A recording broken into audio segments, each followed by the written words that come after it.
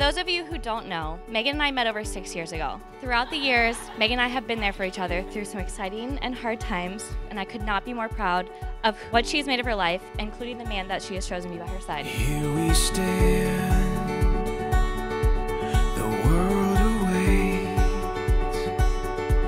We'll the stars tonight. Paul, the love you two share exudes. Your relationship is what little girl dreams about and gives fairy tales a run for their money. You make Meghan feel safe, you support her, and sometimes give more than I thought humanly possible just put a smile on her face. And I could not have picked anyone better to have to share Meghan with. Thank you for understanding that even though you guys are technically married and best friends now, still like really her best friend.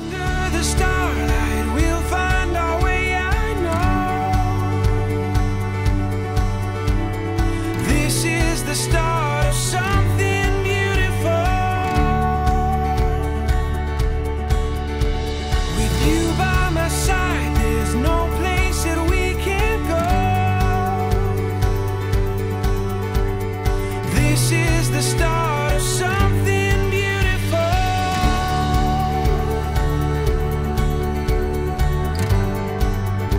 2,378 days ago, I knew that I had found something special. I knew that I had found something that most people search their entire lives for. Up until today, you've been my best friend, my confidant, and for the last 720 days, my fiance. But today, our count starts over. Today, we get to start a new chapter. We get to start over at day number one. Finally.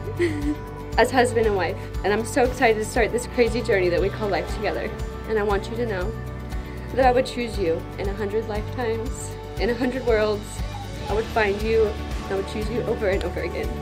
I, Paul Sampson, love you with all my heart.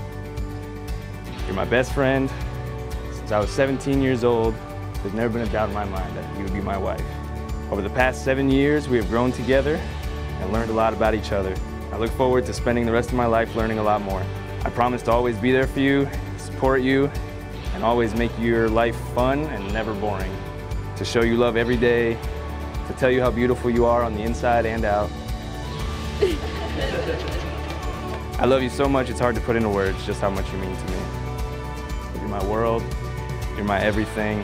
When you run up and wrap your arms around me, I know you feel the same way that I do, and that's the best feeling in the world. I stand here today in front of these witnesses, our friends and family, staring into those big blue-green eyes, to vow my endless love, protection, effort, and energy to be the best husband for you tomorrow, best husband for you today, and the best husband for you forever. By the power vested in me, I now pronounce you husband and wife.